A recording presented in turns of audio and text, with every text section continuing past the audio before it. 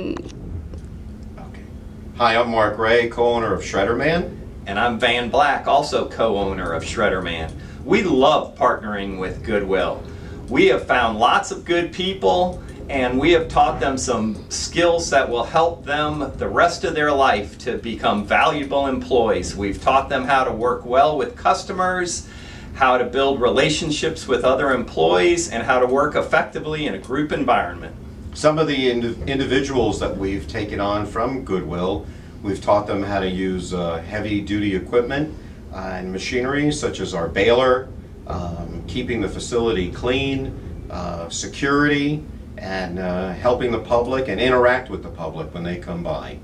We really enjoy working with Goodwill and uh, we look forward to a long lasting relationship with them.